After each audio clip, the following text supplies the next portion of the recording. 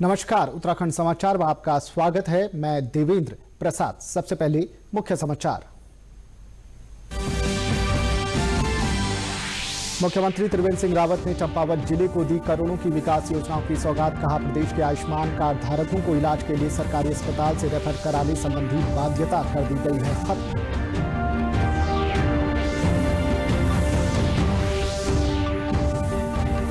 केंद्रीय कानून मंत्री रविशंकर प्रसाद ने देहरादून में किया आयकर अपीलीय अधिकरण की सर्किट बेंच का उद्घाटन। उत्तराखंड क्षेत्र के आयकरदाताओं, अधिवक्ताओं और सीए को अब नहीं लगानी पड़ेगी दिल्ली की दौड़।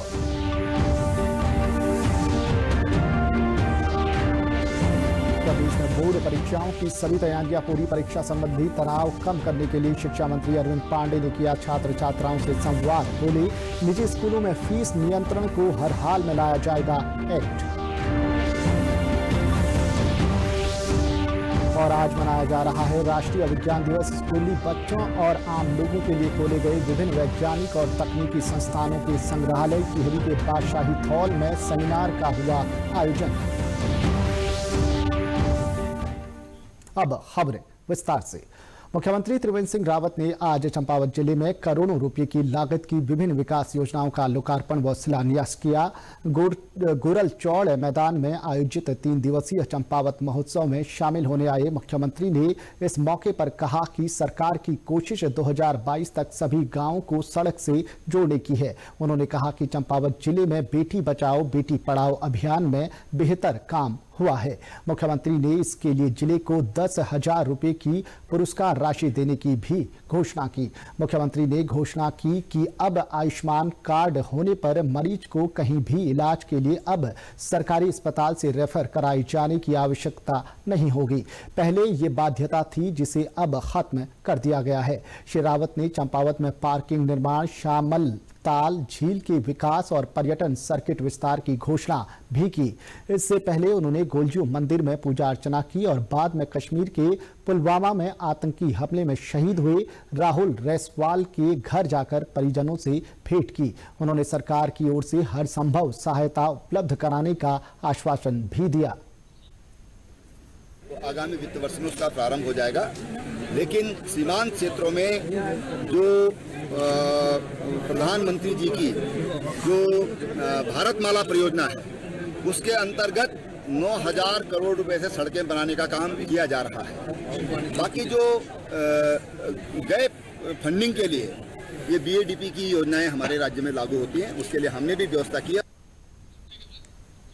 राजधानी देहरादून में आयकर अपीलीय अधिकरण, यानी आईटीएटी की सर्किट बेंच की स्थापना की गई है। केंद्रीय कानून, संचार एवं सूचना प्रौद्योगिकी मंत्री रविशंकर प्रसाद ने केंद्रीय जल शक्ति मंत्री गजेंद्र सिंह शेखावत और मुख्यमंत्री त्रिवेंद्र सिंह रावत की मौजूदगी में इसका उद्घाटन किया। उद्घाटन समारोह में उत्तराखंड पोस्टल सर्किल के विशेष एल्बम का भी लोकार्पण किया गया। इस अवसर पर केंद्रीय मंत्री रविशंकर प्रसाद ने कहा कि देश की 130 करोड़ की आबादी में मात्र 9 करोड़ लोग ही टैक्स देते हैं। इनमें भी एक करोड़ की आय दिखाने वाले महज 2000 प्रोफेशनल हैं, जबकि पिछले चार साल में दो करोड़ लोग विदेश गए।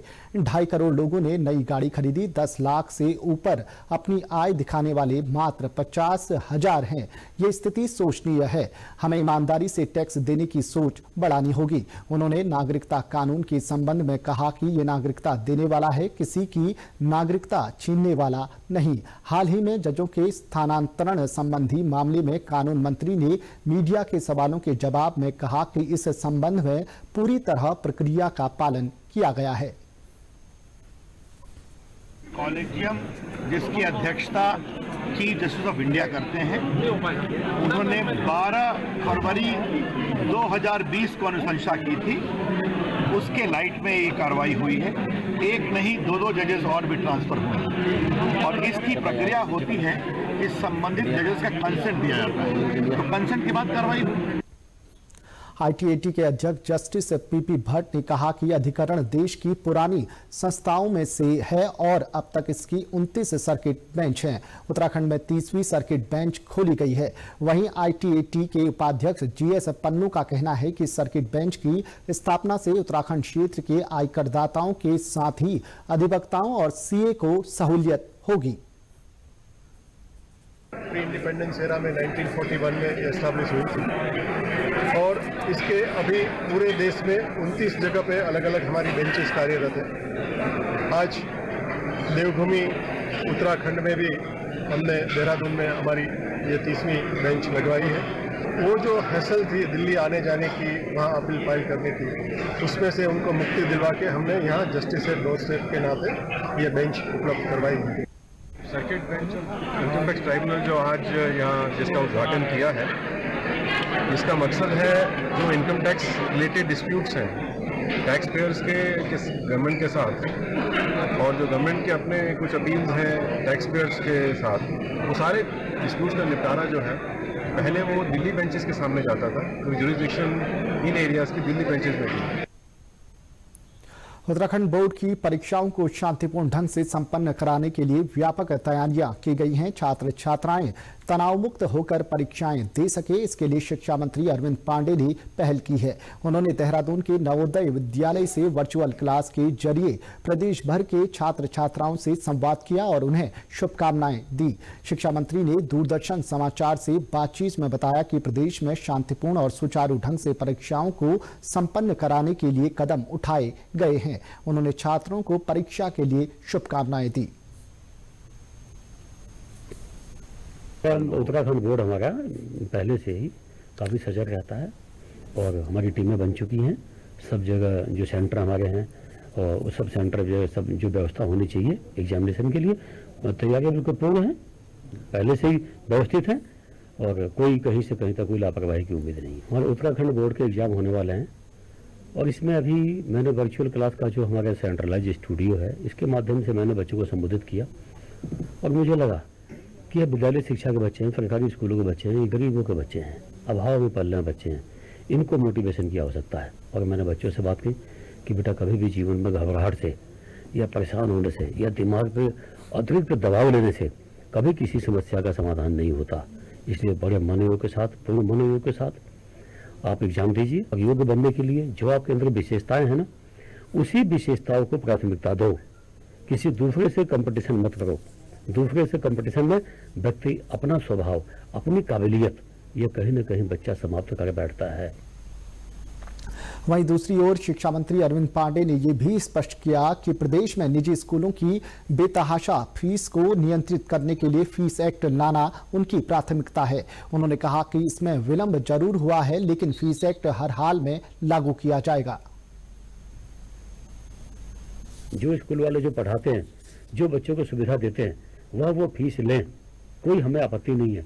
लेकिन जो स्कूल वाले, बच्चों को जो एजुकेशन के नाम पे देते भी नहीं है, पर्सनालिटी डेवलपमेंट के नाम पे कुछ एक्टिविटीज़ कराते भी नहीं है, लेकिन इसके बावजूद फ़ीस लेते हैं, वो हमारी आपत्ति है। और मैं आपको बोल रहा हूँ कि बेशक थोड़ी हमसे गवर्नमेंट से देर तो हुई है, लेकिन फ़ीस एक्ट उत्तराखंड का लागू करना मेरी प्राथमिकता है और हम इसको लागू करेंगे। मुख्यमंत्री त्रिवेंद्र सिंह रावत ने आज देहरादून स्थित आईटी पार्क में उत्तराखंड राज्य आपदा प्रबंधन प्राधिकरण भवन का भूमि पूजन व शिलान्यास किया। श्री रावत ने कहा कि आपदा प्रबंधन प्राधिकरण भवन के निर्माण के लिए आधुनिकतम तकनीक का इस्तेमाल किया जाएगा। आपदा प्रबंधन प्राधिकरण के भवन को ग्रीन बिल्डिंग कॉन्सेप्ट पर बनाया जाएगा। ये देश का इस तरह का आपदा प्रबंधन के लिए दूसरा भवन होगा। इस भवन में छह फ्लोर बनाए जाएँगे जिनमें प्रशिक्षण hall conference hall state operation emergency centre शामिल होंगे। 11,715 वर्ग मीटर में ये भवन जनवरी 2022 तक बनकर तैयार हो जाएगा। एक भारत, श्रेष्ठ भारत, अभियान के तहत आज हम आपको लिए चलते हैं कर्नाटक राज्य में स्थित खूबसूरत जलप्रपात जोग फॉल्स। हर साल बड़ी संख्या में पर्यटकों को आकर्षित करने वाले इस फॉल्स के बारे में पेश है एक रिपोर्ट।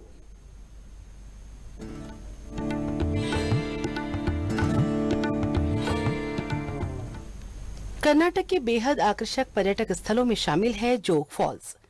शिवमोगा ज़िले के सागर तालुक में जोग गाँव के नज़दीक स्थित जोग फॉल्स, खासतौर से मानसून सीज़न में पर्यटकों से खचाखच रहता है। उस वक्त इसमें भरपूर पानी के साथ ही चट्टानों से गिरते इसके पानी की गर्जना बहुत दूर तक सुनाई देती है।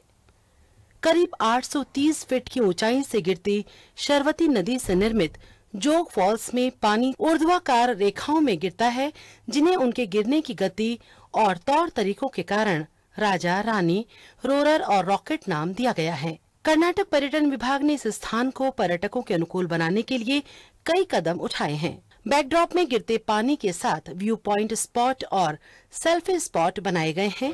पर्यटकों का कहना है कि वे जोग फॉल्स के प्राकृतिक सौंदर्य से अभिभूत हैं। झरने बहुत सुंदर हैं, हालाँकि जिस तरह से साल दर साल जोग फॉल्स आने वाले पर्यटकों की संख्या बढ़ रही है, उसे देखते हुए यहाँ अभी और जगह और बुनियादी सुविधाएँ जुटाए जाने की आवश्यकता है। वहीं दूसरी ओर स्थानीय पुलिस अधिकारी कहते हैं कि पिछले 10 वर्षों के भीतर जोग फॉल्स देखने आने वाले पर्यटकों की संख्या में काफ़ी तेज़ी से वृद्धि हुई है।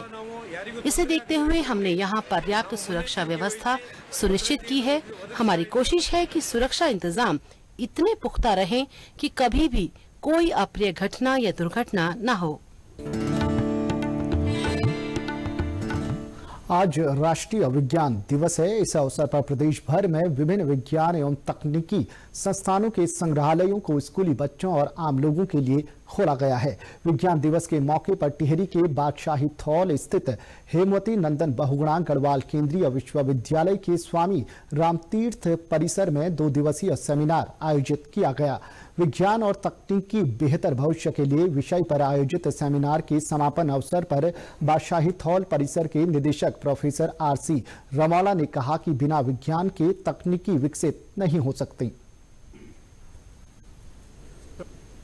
बड़ी खुशी वाली बात यह है कि मैं देख रहा था जो छात्रों के जो प्रेजेंटेशन यहाँ पर हुए हैं, बहुत ही हाई क्वालिटी के थे हमने एक्सपेक्ट भी नहीं किया था कि इतने अच्छी तरह से हमारे छात्र जो है अपना प्रेजेंटेशन दे सकते हैं।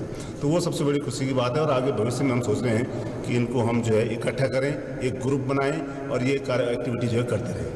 आज, अट्ठाईस फरवरी आज विज्ञान दिवस के रूप में मनाया जा रहा है और आज के दिन ही रमन ने जो सी वी रामन है, उन्होंने अपने सिद्धांत दिया था रमन फिनोमिना जिसके नाम, जिसको हम जानते हैं।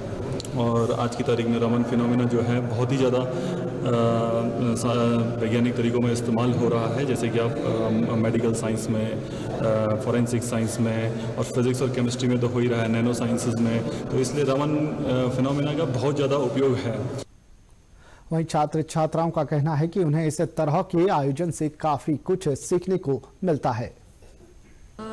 हम लोगों ने यहाँ पे साइंस डे में बहुत कुछ सीखा है। यहाँ पे बहुत सारी चीज़ें साइंस से रिलेटेड रसायन रसायन विज्ञान से रिलेटेड और जैव विज्ञान से रिलेटेड बहुत सारी चीज़ें स्टूडेंट्स ने रखी है। आई एम वेरी एक्साइटेड मैं बहुत एक्साइटेड हूँ कि मतलब यहाँ पर साइंस डे ऑर्गेनाइज हुआ और मुझे बहुत कुछ सीखने को मिला। बिकॉज़ यहाँ पर बहुत सारे साइंटिस्ट वगैरह से इंटरेक्शन हुआ, हमारा, हमारे chief guest mister Durgesh Pant ji से इंटरेक्शन हुआ। काफ़ी अच्छा लगा, हमें बहुत कुछ सीखने को मिला आईआईटी रुड़की और राष्ट्रीय जल विज्ञान संस्थान की ओर से आयोजित तीन दिवसीय वाटर कॉन्क्लेव में देश विदेश से आए विशेषज्ञों ने जल प्रबंधन और नमामि गंगे मिशन पर अपने शोध पत्र प्रस्तुत किए।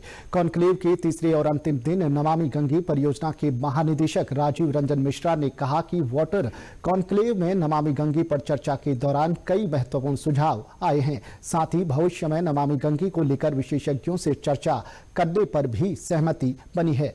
वाटर कॉन्क्लेव में गंगा नदी के संरक्षण और जल स्रोतों को संरक्षित करने पर ज़ोर दिया गया।